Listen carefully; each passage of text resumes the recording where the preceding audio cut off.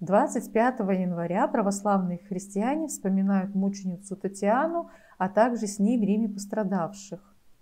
Святая мученица Татьяна родилась в Древнем Риме от знатных родителей. Отец ее, трижды бывший консулом, был тайным христианином и отличался богобоязненностью. И свою дочь, святую Татьяну, он воспитывал в благочестии и страхе Божием и научил ее божественному писанию. Когда святая Татьяна достигла совершеннолетнего возраста, она восхотела проводить свою жизнь в девстве и целомудрии. Невестой была она Христу. Пламенея к Нему любовью, она Ему единому служила и день, и ночь, молитвою и постами. Православная икона святой Татьяны Великомученицы с древних времен считается чудотворной.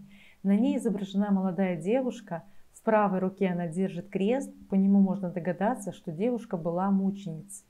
И, как известно, девушка стала первой женщиной, которая могла участвовать в богослужении. До нее сан диаконисы могли принимать только священники-мужчины – Святая Татьяна стала покровительницей Московского университета, так как именно 25 января, 12 января по старому стилю 1755 года императрица Елизавета Петровна подписала указ об его учреждении. И во имя Татьяны был освящен университетский храм, и открыт он был в 1995 году после 80-летнего перерыва.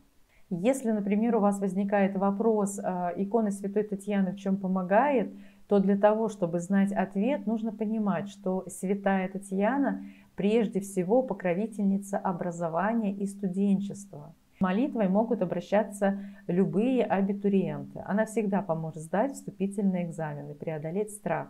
Ну и также, конечно, святая Татьяна является покровительницей и заступницей самих всех Татьян – Потому что если у вас такое же имя, то не помешает иметь свою именную икону в красном уголке.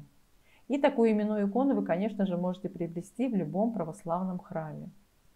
А еще в народном календаре говорится о том, что в старину наши предки на День Святой Татьяны обычно свивали клубки пряжи как можно туго, покрупнее. Делалось это для того, чтобы кочаны капусты уродились в этом году тугими и крупными. И в народном окружении считается, что женщина, которая родилась в этот день, она будет хорошей хозяйкой.